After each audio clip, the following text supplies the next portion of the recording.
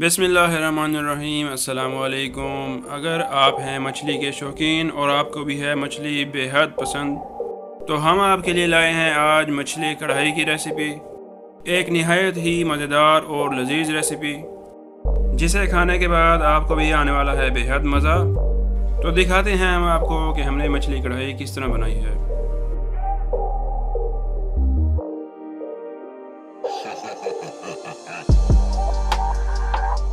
मछली ली है हमने ढाई किलो और इसके हमने पीसेस करवा लिए हैं।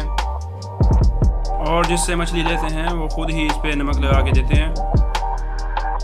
सबसे पहले तो हमने ये करना है कि कढ़ाई में ऑयल गर्म करना है और उसमें मछली के सारे पीसेस वन बाई वन करके फ्राई कर लेने हैं। और इस चीज़ का बेहद ख्याल रखना है कि जब आप मछली ऐड करेंगे ऑयल में तो ऑयल के छीटे उठते हैं, जिससे हमें बचना है। बड़े ही एहतियात से आपने सारे पीसेस ऐड करने हैं। तकरीबन पाँच मिनट बाद हम इसकी साइड चेंज करेंगे। पाँच मिनट तक मछली को वैसे ही रहने देना है जैसे हमने ऐड की थी।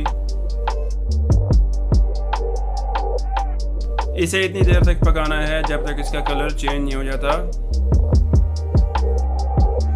जैसे ही इसका कलर गोल्डन ब्राउन होगा, जैसे आप वीडियो में देख रहे हैं, तब हम इसे बाहर निकाल लेंगे। मछली हमने कढ़ाई से बाहर निकाल ली है। आप चाहें तो इसे ऐसे भी खा सकते हैं। बहुत ही मज़ेदार जायका होता है इस तरह भी। और इसे कहते हैं नमकीन मछली। क्योंकि जब हमने इसे बाज़ार से लिया था तो वो पहले ही इसे नमक लगा के देते हैं। अब सेकंड स्टेप की तरफ़ चलते हैं। इसमें हमने लहसुन लिया है और इसका पेस्ट बना लिया है। उसमें आधा कप दही ऐड की है।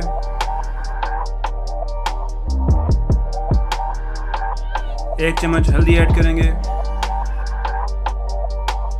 दो चम्मच लाल मिर्च पाउडर। एक चम्मच खुश्क धनिया। और नमक हसब जायका ऐड करना है। नमक हमने वैसे कम ही ऐड करना है, क्योंकि पहले भी मछली को नमक लगा हुआ था। तो उसी को जहन में रखते हुए उतना ही नमक ऐड करना है जितना आप ज़रूरत हो। एक दफ़ा इसे अच्छे तरीके से मिक्स कर लेंगे। और इसके बाद हमने इसमें पानी ऐड करना है। पानी भी हसब ज़रूरत ऐड करना है, ज़्यादा नहीं करना। तो ये हमारा मसाला तैयार हो जाएगा।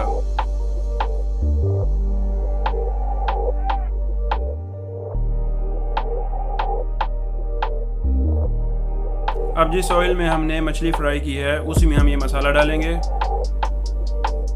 और यहाँ पे भी आपने ख्याल करना है, क्योंकि ऑयल में जब मसाला जाएगा तो चीटे उड़ेंगे ऑयल के।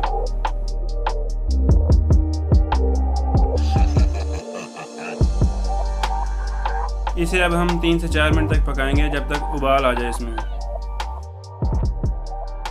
अब आप देख सकते हैं कि उबाल आ चुका है इसमें। अब हम इसमें अपनी फ्राई की हुई मछली वन बाय वन करके ऐड कर देंगे। एहतियात से ऐड करनी है आपने भी?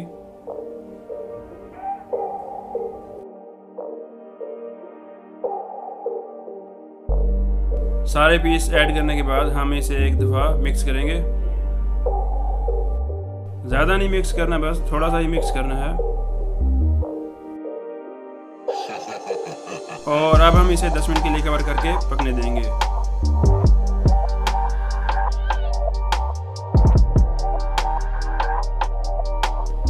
पे 10 मिनट गुजर चुके हैं, अब हम एक दफ़ा चेक कर लेते हैं।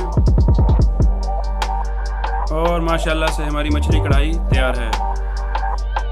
बहुत ही मज़ेदार खुशबू आ रही है इस टाइम आप भी ये रेसिपी ज़रूर ट्राई करें और हमें कमेंट्स में ज़रूर बताएँ।